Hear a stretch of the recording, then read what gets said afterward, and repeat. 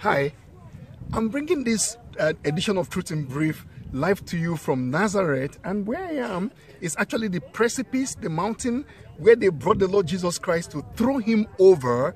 Um, you know, when they rejected him uh, in his own city, in this city of Nazareth. This is Nazareth. This is the modern city, uh, and we are privileged to be here uh, in Israel looking at this beautiful place. Now, the, the point I want to share with you from this place is that Jesus was rejected at Nazareth.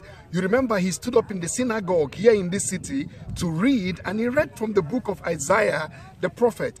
And when he finished reading, he said, The Spirit of the Lord is upon me because he has anointed me, you know, to preach the gospel to the poor. He has sent me to bind the brokenhearted, and the rest of the things that he said. He was actually waiting to do those things for them. He wanted to heal the sick, to set free all the captives, but of course they rejected him. They said, Is this not Mary's boy, as the Living Bible puts it? And of course, you know, uh, they, they looked down on him and they said, Is this not the son of Joseph? Is this not Mary's boy? Is this not the carpenter?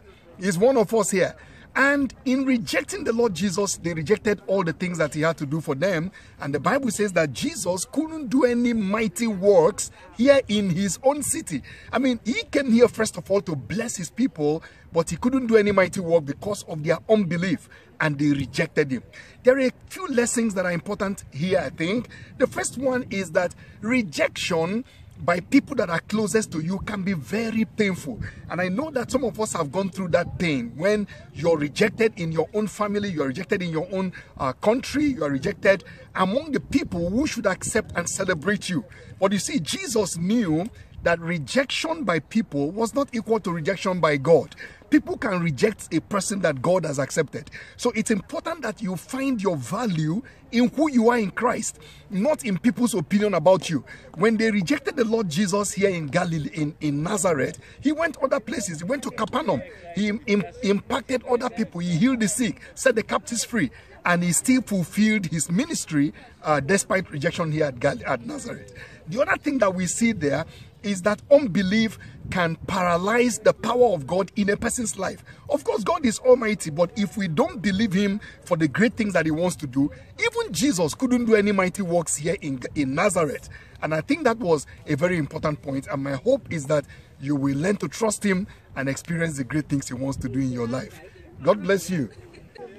So this is Nazareth. Um, of course, it's a modern city right now.